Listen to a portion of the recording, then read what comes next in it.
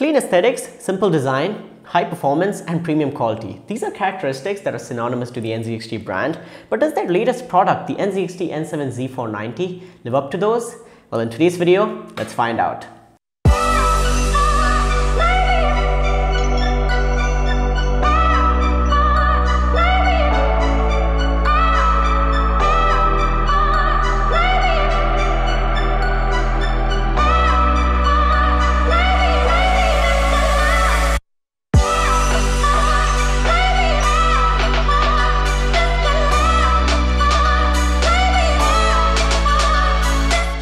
Alright, so with the intro out of the way, let's get to the motherboard itself. The N7 Z490 is NZXT's latest motherboard and it's based on Intel's Z490 chipset, has the LGA 1200 socket type, so it supports all Intel 10th generation CPUs. But ideally, you should be using an overclockable i7 or an i9 with this board to make use of its full performance, to get its full potential, and you can also make use of its overclocking capabilities if you're into overclocking. But that's not going to be the reason you're going to get this board. That's not why you should be considering this board for your next build. There's going to be two types of buyers for this board, two groups of people who should you know get this board ASAP for their next build and I'm going to get to it straight away. I don't want to waste your time with boring specifications and numbers and stuff like that. The first group of people who should buy this motherboard are going to be people who are into this design and the look of this motherboard itself for its appearance. You know, it's clean, simple, minimal design. This white armor covering, you know, all the electronics, nothing is seen and it's going to look really clean. And this is also designed for cable management. The way you're going to connect things inside this board,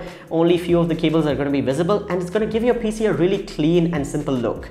And this, you know, material itself is aluminium so it's pretty premium. The build quality of this board is really nice. It's pretty solid. It's got weight to it. It's heavier than usual you know z490 boards. And i really like that. It gives the board a really premium feel. And this is also available in a black color so depending upon your cabinet and the other components you build you should be either going with white or black. And no matter what kind of nzxt cabinet you have if you have the h series cases this is going to go perfect with that and the second group of people who should be buying this board are people who are into the NZXT ecosystem. And that is integrated well into this board. You've got NZXT RGB headers. This is CAM integrated. So everything you connect to this board can be technically also customized and monitored from CAM. You can change stuff you know, on the board itself by just using NZXT CAM. And CAM as a software has come a long way. There's updates every few weeks and they're you know fixing bugs, they're making it better, they're changing the UI, and I really like where CAM is going. So that's the two type of people who should be buying this board.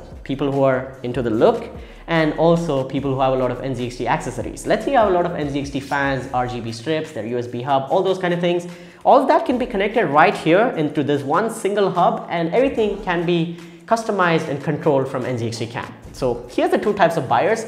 Now, if you're interested in the technical side of things and what this board has, let's talk about that. So you've got four RAM slots, your CPU socket, and this top part right here is the VRM heatsink, and the VRM below this board is pretty decent. Nothing spectacular or mind-blowing, but it's pretty decent. It's an 8 plus 2 phase system, and there is also an ISL 69269, you know, PWM controller. That's going to be handling 10 SIC 632A's 50 amp power stages. And in my opinion it can be better. It can definitely be better. There's other boards out there for enthusiast you know pc builders in this kind of pricing range but again, as I said, you're not buying this board for you know enthusiast level performance. It's good. It's not bad. It's not terrible. It is decent and it's get, gonna get the job done. Even if you put in an i9 into this, no problem. Optimum Tech, so Ali from Optimum Tech made a really nice video in depth testing this motherboard, doing benchmarks, doing thermal testing. I'm gonna link that below in the description. I don't have my you know 10th generation CPU yet, so I couldn't do any of that. But I'll link that video. It's pretty you know in depth, and you should definitely watch it. But again, getting to the I/O on this board, You've got your Wi-Fi here and this board does support Intel's Wi-Fi 6 as well as 2.5 gigabit LAN. You've got the clear CMOS switch which is again found on you know expensive enthusiast level boards. You've got the HDMI port. You've also got two USB 3.2 Gen 1 ports and four USB 3.2 Gen 2 ports out of which one of them is a USB Type C port and I don't like that it doesn't support Thunderbolt and in a future revision my suggestion would be to add Thunderbolt support to this board and that's going to be a welcome addition. But again there is a modern piece of IO and you can connect your accessories there no problem. You've got your ethernet jack and your audio input so that's going to be that. You've also got two M.2 slots on this board so you can add like super fast storage and as you can see you can take off these you know covers. They're magnetic pretty easy to take off. Uh, another suggestion would be to add thermal pads or some sort of heat spreader that can you know prevent the M.2 drive from overheating.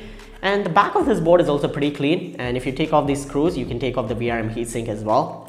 And apart from that, I really like that NZXT has gone with a power and reset switch right on the board. Again, an enthusiast, you know, expensive motherboard feature that's brought down to this price range. We'll talk about that in a bit. And talking about other inputs and headers on this board, you've got three fan headers, you've got three USB 2.0 headers, you've got a 5 volt ARGB, a 12 volt RGB header, and all the basic connectors you expect from a motherboard, at least a Z490 high-end board. And talking about the BIOS of this board, it's very familiar to an ASRock motherboard, which I use. I use an ASRock Z270 board in my PC and it felt like I was home. I was walking into my own home and I went to the BIOS of this motherboard. And it's very, you know, ASRock-like because ASRock is the OEM that's making this motherboard. So no surprise there. It's very well laid out and yes, I really like the BIOS. It's easy to customize things, you know, change things and you also have NZXT CAM. So if you want to do fan curves and stuff like that, you can just do it from there. But let's say you want to go into the BIOS and do some overclocking, you'll feel right at home if you've used any, you know, ASRock motherboard in the past. So that's that. Now getting to the conclusion of this board, this board retails for $229 and in my opinion for that, it is worth it for a few things. For its design, some of its extra features, and also the NZXT integration, how it fits into the whole ecosystem of NZXT products. If you have a lot of them, they'll fit right in and they'll work perfectly. So that's that.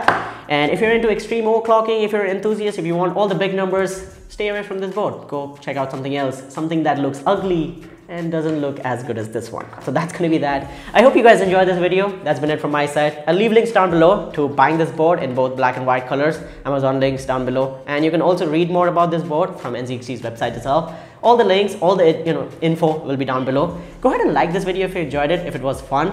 And also subscribe to the channel and hit the notification bell so you don't miss out on future uploads.